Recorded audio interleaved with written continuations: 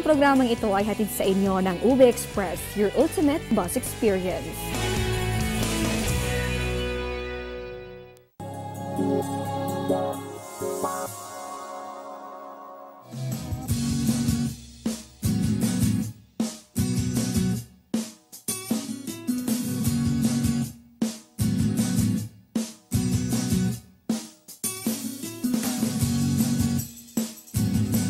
Magandang umaga Pilipinas, oras sa Hudyat, 17 minuto, makalipas ang alas 6 ng umaga.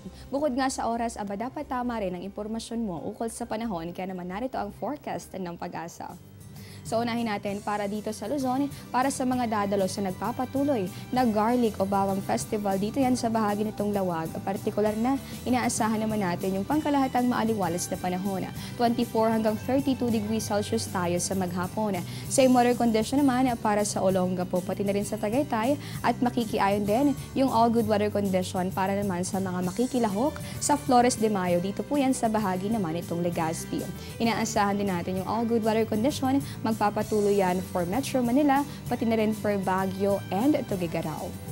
Sa ating naman mga taga-subaybay for Visayas areas, makikiayon din yung pagkalahatang maaliwalas na panahon para naman sa ating mga kababayan sa Tacloban, Iloilo, Bacolod, and Metro Cebu. Agwat ng temperatura maaring umabot sa 33 degrees Celsius. And lastly naman for Mindanao areas, all good weather condition din tayo sa Cagayan de Oro, Metro, Davao, and Zamboanga. Paghandaan lamang natin yung bahagyang mataas na temperatura, maaari ang umabot sa 25 hanggang sa 33 degrees Celsius ngayong pong araw ng Webes. Samantala po sa aming mga pagbabalik, mga balita sa labas ng bansa, blizzard na nalasa sa ilang bahagi ng Amerika at matinding pagbaha dito po sa bahagi nitong Middle East na nalalasa sa pambihirang pagkakataon. Abangan yan matapos ang ilang paalala.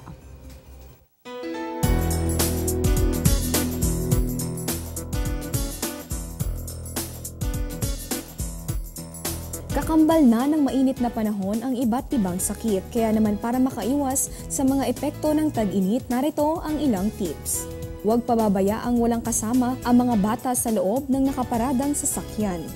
Sumilong sa malililim na lugar. Maging handa sa lagay ng panahon, kaya naman i-download na ang Panahon TV mobile app. Uminom ng 8 hanggang sa 12 baso ng tubig. Gumamit ng sunblock at magsuot ng light-colored clothes dahil mas kakaunting init ang naa-absorb ng mga ito.